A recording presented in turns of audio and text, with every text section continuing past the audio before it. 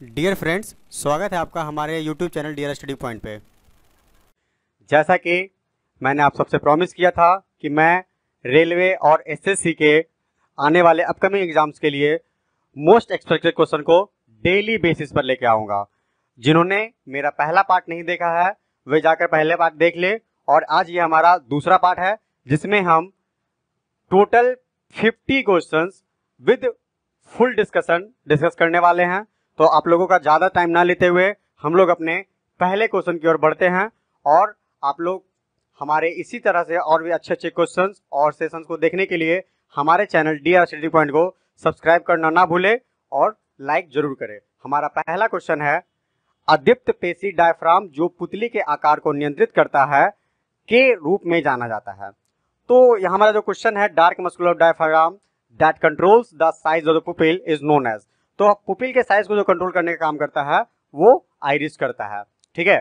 जब आइरिस की बात आती है तो आइरिस होता है, वो कॉर्निया के पीछे का भाग होता है। ठीक है? आप लोगों को याद रखना है कि आइरिस कॉर्निया के पीछे का भाग होता है।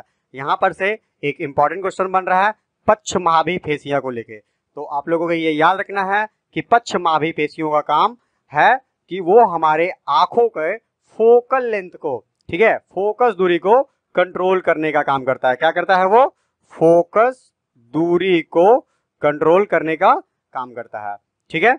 चलिए, अगले क्वेश्चन की ओर बढ़ते हैं।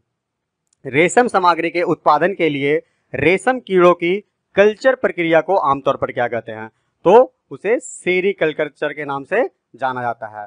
ठीक है? हमारा अगला क्वेश्चन है, प्रधानमंत्री श्रम योगी मानधन ठीक है? क्या है? प्रधानमंत्री श्रम योगी मानधन योजना के तहत असंगठित श्रमिक का वेतन कम से कम या उससे बराबर होना चाहिए। तो उसके लिए पंद्रह फरवरी हज़ार रुपये या उससे कम होना चाहिए। और ये योजना कब लागू हुआ था?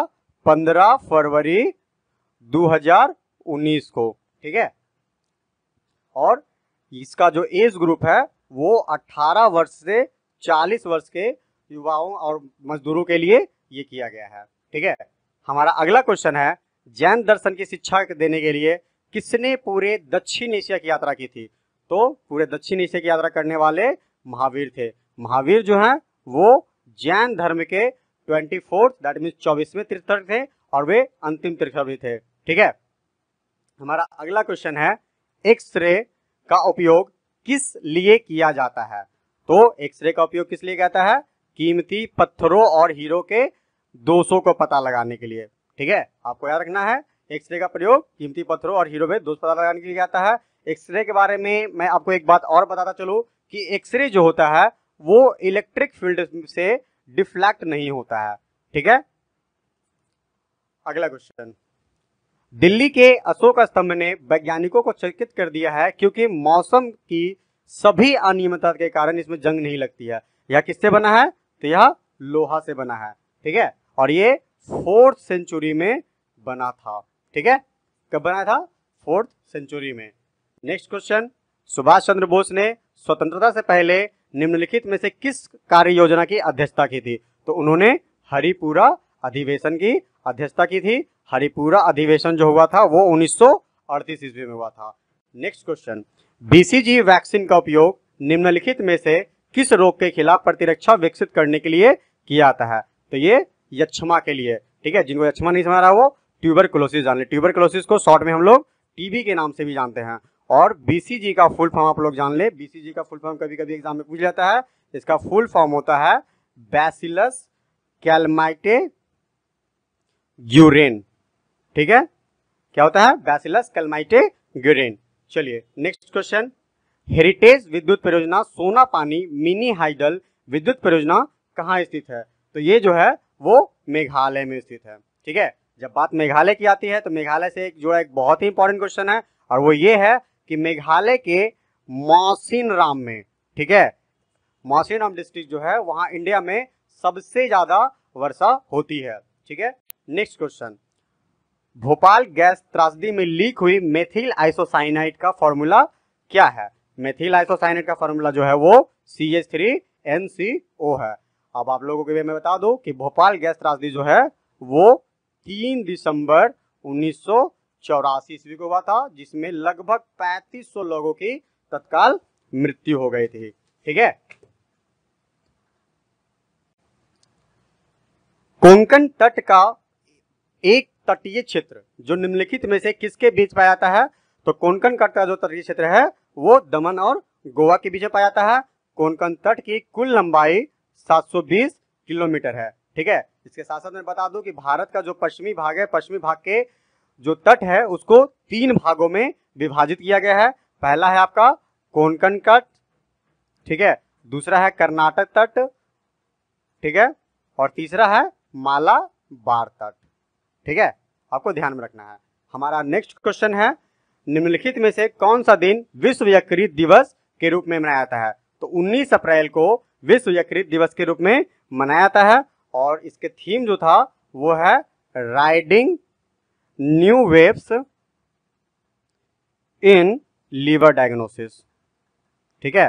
थीम को भी आप लोग को ध्यान रखना है, क्योंकि सम टाइम एग्ज़ाम में किसी वाटर डे के लिए थीम को लेकर अक्सर क्वेश्चन पूछ लिए जाते हैं। हमारा नेक्स्ट क्वेश्चन है हाइड्रोपोनिक्स किससे संबंधित है? हाइड्रोपोनिक्स जो है, वो बिना मिट्टी के पौधे उगाने से संबंधित है। ठीक है? इसमें क्या होता है? बिना मिट्टी के पौधों को उगाया जाता है। नेक्स्ट क्वेश्चन सबसे प्रचुर मात्रा में दहनशील प्राकृतिक गैस कौन सी है? तो सबसे दहनशील प्राकृतिक गैस जो है हमारा, मिथेन है। ठीक है? Next question which national highway connects Delhi and Kolkata via Mathura and Varanasi तो हमारा आंसर हो जाएगा एन एच टू ठीक है? हमारा ऑप्शन सॉरी यहाँ पे कुछ गलत ऑप्शन लिख गया है वो मिसप्रिंट हुआ है। हमारा जो सही ऑप्शन है, वो एन एच टू है। एन एच टू जो नेशनल हाईवे है, वो दिल्ली एंड कोलकाता को कनेक्ट करती है और मथुरा और वाराणसी के थ्रू ठीक है? अब जब बात नेशनल हाईवे की आ रही है तो मैं आपको बताता चलूँ कि जो सबसे लॉन्गेस्ट नेशनल हाईवे है, वो एन एच फोर्टी फोर है, ठीक है? कुछ लोगों को लगता होगा एन एच सेवन लेकिन एन एच सेवन जो है, वो एन एच फोर्टी फोर का ही पुराना नाम एन एच सेवन है, ठीक है? और सबसे जो शॉर्टेस्ट नेशनल हाईवे है, वो national highway forty seven A है, ठीक है? चलिए नेक्स्ट क्वेश्चन चिकित्सा हृदय सॉरी चिकित्सा स्थिति जिसमें हृदय नियमित रूप से नहीं धड़कता, उसे एरिथीमिया कहते हैं। ठीक है? क्या कहते हैं? एरिथीमिया। एरिथीमिया के दो प्रकार होते हैं। पहला होता है ब्रैड कार्डिया क्या होता है? ब्रैड कार्डिया ब्रैड कार्डिया में क्या होता है? जो दिल की धड़कन होती है, वो धीमी हो जाती है। और दूसरा होता है टैसी कार्डिया क्या होता है? टैसी कार्डिया टैसी कार्डिया में क्या होता है? दिल की धड़कन जो होती है, वो तेज हो जाती है। चलिए, नेक्स्ट क्वेश्चन। ग्रेट बाथ नामक एक स्विमिंग पूल कहाँ मिला था? तो ग्रेट बाथ जो है वो मोहन जोदड़ो में मिला गया था। मोहन जोदड़ो अभी पाकिस्तान का हिस्सा है। ठीक है? पाकिस्तान का सिंध का हिस्सा है ये भी ठीक है? और जब बात मोहन जोदड़ो का आते तो मोहन जोदड़ो का टाइम का एक लोथल बंदक रहा, बहुत ही फ़ेमस था। ठीक है? नेक्स्ट क्वेश्चन अनहैप्पी इंडिया पुस्तक के लेखक कौन है? अनहैप्पी इंडिया के पुस्तक के लेखक जो है, वो है लाला लाजपत राय इन्होंने ये पुस्तक 1928 ईस्वी में पब्लिश हुआ था, ठीक है? और लाला लाजपत राय को पंजाब केसरी के नाम से भी जाना जाता है, ठीक है? आपको ध्यान रखना है कि लाला लाजपत राय को पंजाब केसरी के नाम से भी जाना जाता है। नेक्स्ट क्वेश्चन खाली जगह is not a source of the revenue of the central government निम्नलिखित में से कौन सा सेंट्रल गवर्नमेंट का रेवेन्यू का सोर्स नहीं है। तो जिन्होंने मेरा पिछला वीडियो देखा होगा तो उसमें मैंने पिछले वीडियो में बताया था कि custom duty corporate tax excise duty ये सारे जो होते हैं वो सेंट्रल गवर्नमेंट के रेवेन्यू का सोर्स होता है। लेकिन जो एग्रीकल्चर इनकम टैक्स होता है, वो सेंट्रल गवर्नमेंट का राजस्व का स्रोत नहीं होता है। क्योंकि जो भी एग्रीकल्चर से इनकम होती है, वो कर मुक्त होती है। ठीक है? ये बात आपको ध्यान में रखना है। नेक्स्ट क्वेश्चन मांच किस राज्य का लोक नृत्य है? मांच जो है वो हमारा मध्य प्रदेश का लोक नृत्य है। हरियाणा की जब बात आएगी, हरियाणा का धमाल, मंजीरा, खेड़ा, ये सब हरियाणा का लोक नृत्य है। ठीक है? केरल का तो पता ही होगा, कथकली, और असम का बिहू। ठीक है? नेक्स्ट क्वेश्चन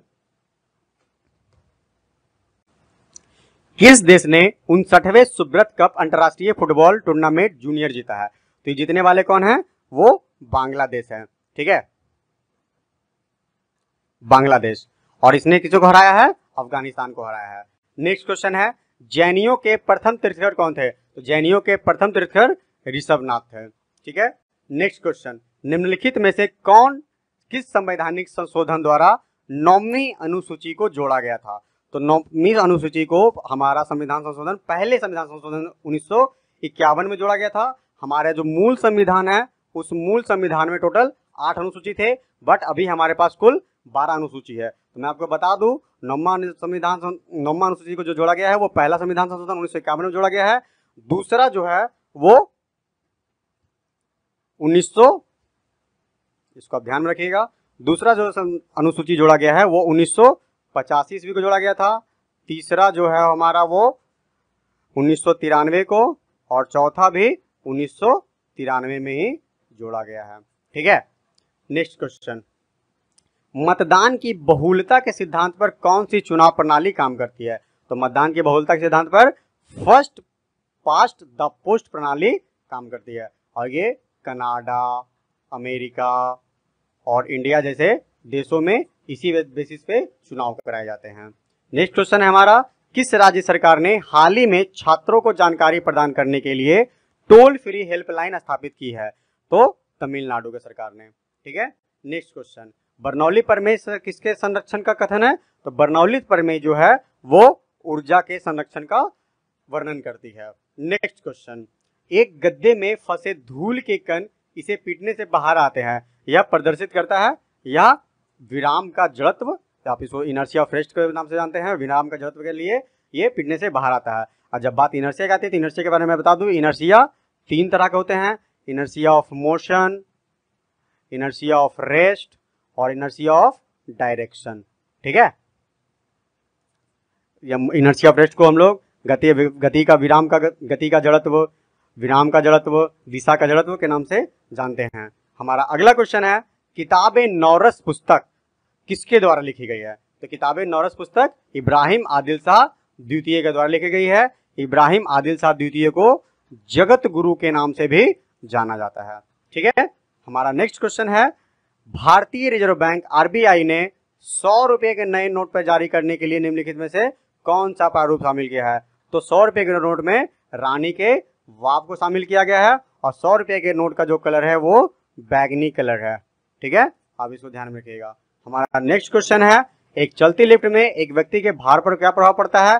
तो एक चलती लिफ्ट, अगर लिफ्ट जो है वो कांस्टेंट वेलोसिटी से चल रही है मतलब कांस्टेंट दूरी से चल रही है, समान चाल से चल रही है तो भार पर कोई भी प्रभाव नहीं पड़ता है। ठीक है? जब बात लिफ्ट की आ रही है तो आपको ध्यान में रखना है कि जब हम लिफ्ट में से ऊपर की ओर गति करते हैं तो हमारा भार बढ़ता है। बढ़ता हुआ प्रतीत करता है और जब नीचे आते होते हैं तो भार घटता हुआ प्रतीत होता है। ठीक है? इसमें से एक बहुत ही इंपॉर्टेंट क्वेश्चन पूछाता है कि अगर लिफ्ट की रस्सी टूट जाती है तो जो हमारा भार होगा, वो लगभग ज़ीरो के समान होता है। ठीक है? भारतीय संविधान के मौलिक कर्तव्यों को किस देश से लिया गया है? तो जब बात मौलिक कर्तव्यों की आती है तो वो हमारा सोवियत संघ से लिया गया है। सोवियत संघ मतलब यूएसएसआर से लिया गया है। ठीक है?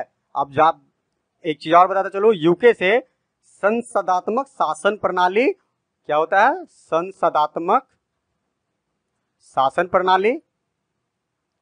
ठीक है? और एकल नागरिकता लिया गया है। ये कहाँ से? यूके से लिया गया है। ठीक है? यूएसए से बात आती है तो यूएसए के बात में देख, बहुत ही अच्छी चीज़ है, वो याद रखना है कि मौलिक अधिकार, ठीक है?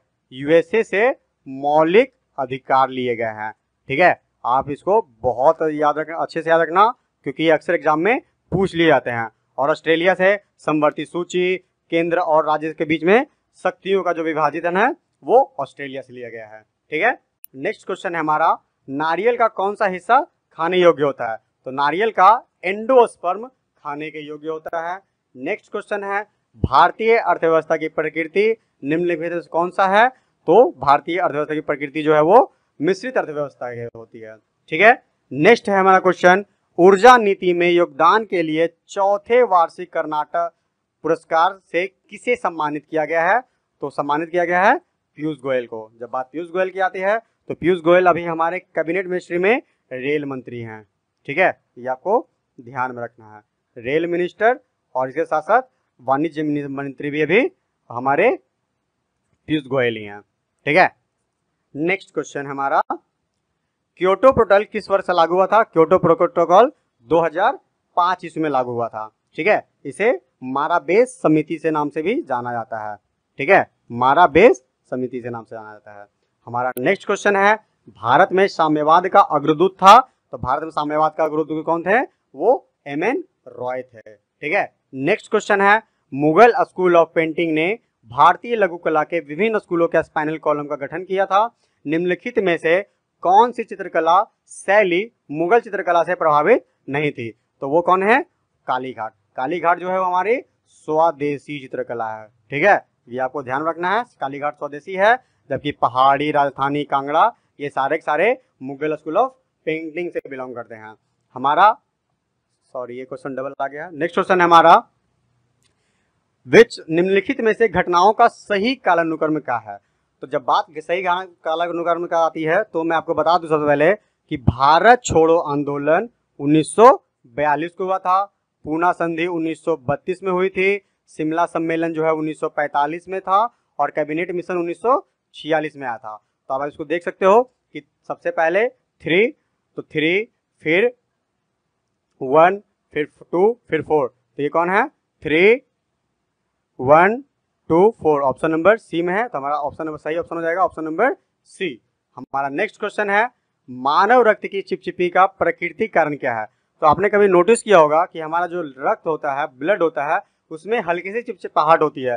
वो किस कारण से होती है? वो रक्त में प्रोटीन होने के कारण होती है। ठीक है? और जब बात रक्त की आती है तो मैं आपको बता दूँ कि जब हमारा शरीर में कहीं कट छट जाता है या फिर कहीं से ब्लडिंग आती है तो उसमें जो थक्का जमने का काम होता है, वो ब्लड में प्लेटलेट्स के, ठीक है, प्लेटलेट्स होने के कारण होता है, ठीक है। ब्रिक्स विकास बैंक को अब क्या कहा जाता है, ठीक है? तो जब बात ब्रिक्स की आती है तो सबसे पहले मैं ब्रिक्स के बारे में आपको बता दूँ कि ब्रिक्स का जो गठन है, वो 2006 ईस्वी में हुआ था। और जब इसका गठन हुआ था, इसमें सिर्फ़ और सिर्फ़ चार देश थे, ब्राज़ील, रसिया, इंडिया और चाइना। लेकिन 2010 में, ठीक है, कब? 2010 में जब इसमें साउथ अफ्रीका भी शामिल हुआ, तब इसका नाम ब्रिक्स से ब्रिक्स हो गया था, ठीक है? तो आपको ये ध्यान रखना है कि 2010 में, ठीक है 2010 में साउथ अफ्रीका को शामिल किया गया था ब्रिक्स सम्मेलन में और ब्रिक्स विकास बैंक को अब न्यू डेवलपमेंट्स के बैंक के नाम से जाना जाता है। हमारा अगला क्वेश्चन है, सरकारिया आयोग संबंधित था। सरकारिया आयोग जो संबंधित है, वो केंद्रीय राज्यों से संबंधित है और इसका गठन उन्नीस ईस्वी में हुआ था। नेक्स्ट क्वेश्चन है हमारा, भारत में राज्य के एडवोकेट जनरल महाधिवक्ता की नियुक्ति कौन करता है? इसकी नियुक्ति राज्य के राज्यपाल करते हैं। ठीक है? नेक्स्ट क्वेश्चन है हमारा, सूचना का अधिकार अधिनियम किस वर्ष लागू हुआ था? तो ये 2005 ईस्वी में लागू हुआ था। और इसके साथ बता दूँ कि ये 15 जून 2005 को पारित हो गया था, लेकिन ये लागू कब हुआ था? 12 अक्टूबर 2005 को। ठीक है, हमारा नेक्स्ट क्वेश्चन है, निम्नलिखित में से कौन सा हार्मोन प्राकृतिक फल के पकने में सहायक होता है? तो कौन सा हार्मोन होते हैं? एथिलीन होते हैं। ठीक है, एथिलीन जो होता है वो प्राकृतिक फल के पकने में सहायक होती है। हमारा अगला क्वेश्चन है, नीचे दिए गए नदियों को जोड़ों में से कौन सी भारत के दक्षिण भारतीय भाग में बहती है? तो कौन सी नदी है? कावेरी और गोदावरी। ठीक है? कावेरी और गोदावरी जो है, वो भारत के दक्षिण भाग में बहती है। गोदावरी को दक्षिण गंगा के नाम से भी जाना जाता है। ठीक है? आपको ध्यान में रखना गोदावरी को दक्षिण गंगा के नाम से भी जाना जाता है। हमारा अगला क्वेश्चन है, केंद्रीय बजट 2015-16 में निम्नलिखित राज्यों में से दो नए आईआईएम खोले जाएँगे। तो कहाँ कहाँ वो है आंध्र प्रदेश और जम्मू कश्मीर में दो नए आईआईएम खोले जाएँगे। ठीक है? हमारा अगला क्वेश्चन है, निम्नलिखित में से कौन सा राज्य म्यांमार के साथ सीमा साझा नहीं करता है? तो असम। असम जो है, वो म्यांमार के साथ सीमा साझा नहीं करता है। हमारा अगला क्वेश्चन है, औसतन पृथ्वी पर कितनी बार बिजली गिरती है? तो औसतन पृथ्वी पर लगभग प्रति सेकंड में सौ बार बिजली गिरती है, लेकिन वो इतनी कम क्वांटिटी की होती है वो हमें समझ में नहीं आता है। और हमारा आज का अंतिम क्वेश्चन है मानव नेत्र के किस भाग पर छवि बनती है? मतलब जो इमेजेस होते हैं, वो रेटिना पे फॉर्म होता है। और आपको ये हमेशा याद रखना है कि रेटिना जो इमेजेस फॉर्म होते हैं, वो हमेशा रियल एंड इन्वर्टेड होते हैं। और हिंदी में कह लो तो वास्तविक और उल्टा, ठीक है? जब भी इमेज फॉर्म होगा, अगर वो वास्तविक है तो वो उल्टा ही होगा, ठीक है? उम्मीद करते हैं आपको ये हमारा ये सेशन पसंद आ रहा होगा और आगे भी मैं इसी तरह के इंपॉर्टेंट क्वेश्चंस जो एग्ज़ाम में मोस्ट एक्सपेक्टेड हैं, पूछे जा सकते हैं या पूछे जा रहे हैं, वैसा ही लेते आऊँगा। तो इस चैनल पर बने रहें और इस चैनल को सब्सक्राइब करना ना भूलें। वीडियो को लाइक करें शेयर करें और जितना मोस्ट से ज़्यादा आप शेयर करोगे, उतना ही ज़्यादा मैं डेली बेसिस पे आपको नए नए क्वेश्चंस जो एग्ज़ाम के लिए बहुत इंपॉर्टेंट है, लेके आता रहूँगा।